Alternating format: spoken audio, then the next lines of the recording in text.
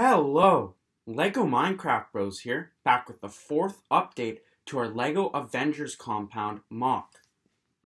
In this update, we will mainly focus on the new improvements to the main compound building by exploring the recently completed interior, incorporating rooms inspired by a variety of MCU movies and TV shows. We will split this video into two parts. A quick cinematic of images of the compound while being compared to the actual building, followed by a walkthrough of the new additions we've added since the last update. Hope you enjoy!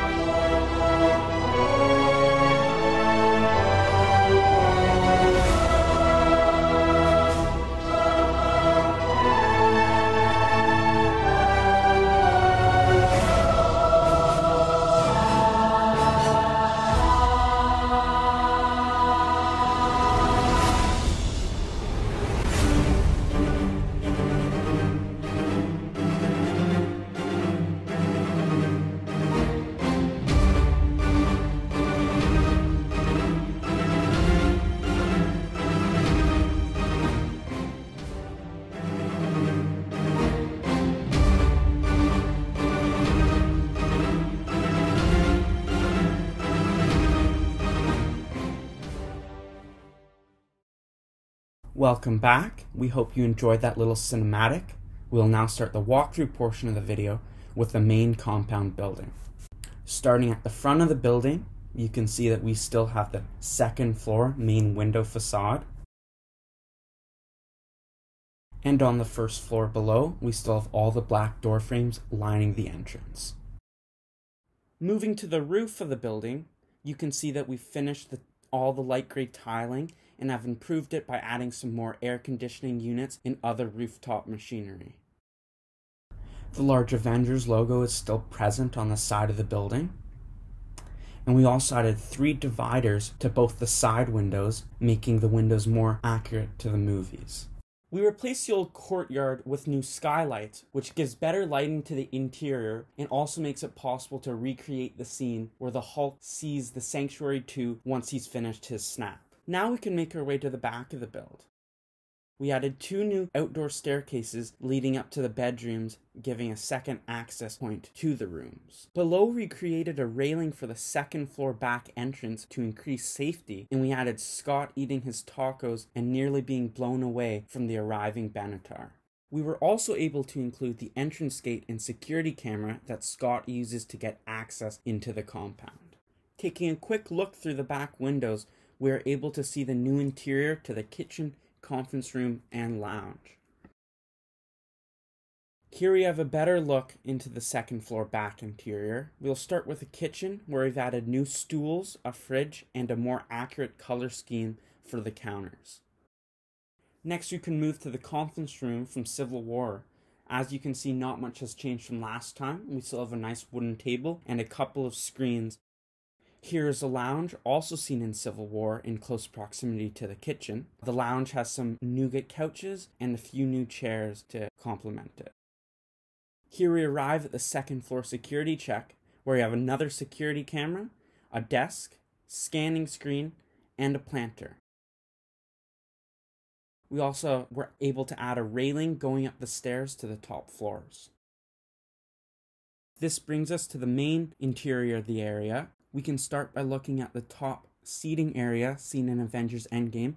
It has some gray furniture with some blue accent pillows, an unorganized table to represent the time that they're going through, and a dark tan carpet. We can make our way over to the medical bay with a small hospital bed and a small amount of cupboards and counter space. On the opposite side of the top floor, we have the Stark Gauntlet Assembly Chamber seen in Endgame with a round viewing window and some controls to help them put the Infinity Stones in the right place. Now we arrive in the main foyer where we switched up the floor design, added two new staircases on either side, two tan chairs for a little rest spot, a small table up front, some planters, and the iron spider suit chamber from the end of Spider Man Homecoming. Here we have the two bedrooms in the compound. They're both meant to represent Wanda's, as she's has the only bedrooms we've seen. One of them is from Civil War with a guitar, a red bed, and some hats, and the other one representing hers from WandaVision with a TV and a blue and white bed. On the upper part of the wall on the ground floor, we've added a new Avengers logo hanging right above the main entrance surrounded by more security cameras on either side and holographic boards displaying relevant information. In the main floor hallway, we've added more planters, a reception desk with a security check, and a small lobby for people waiting. We populated the hallway with a new water cooler, coffee maker, and backdoor security check.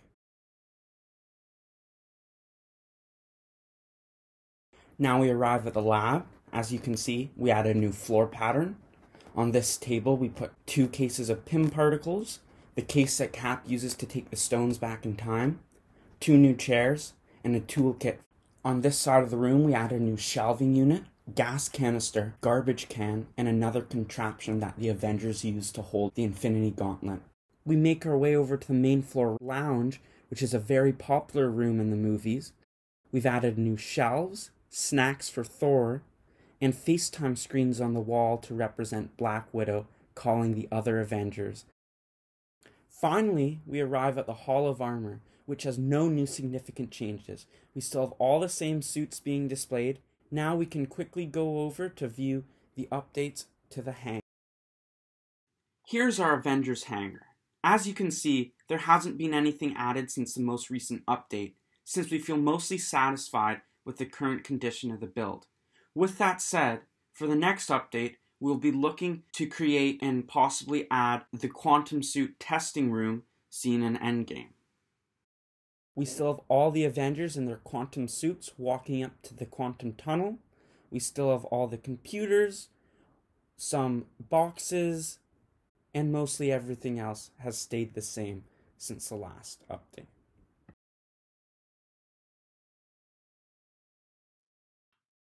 Thank you all for watching. Don't forget to like and subscribe, and we'll see you all in the next video.